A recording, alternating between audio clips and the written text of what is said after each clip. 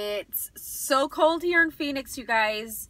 Whoever is in Phoenix or if you're coming to Phoenix today, bring some warm clothes. It is super windy. I can't even step outside yet. So my son's out there. He's practicing football. He's actually warming up doing high knees right now. And I'm being a baby in the car just kind of hanging out. So getting my mind right.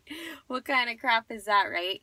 So anyway, just wanted to send you guys some love today and I'm going to take myself an e-shot and get myself out there. I'm going to go for a run. So thought I'd do a video before I have a runny nose, a red nose, and my hair's even more crazy and I'm shivering. So cheers guys.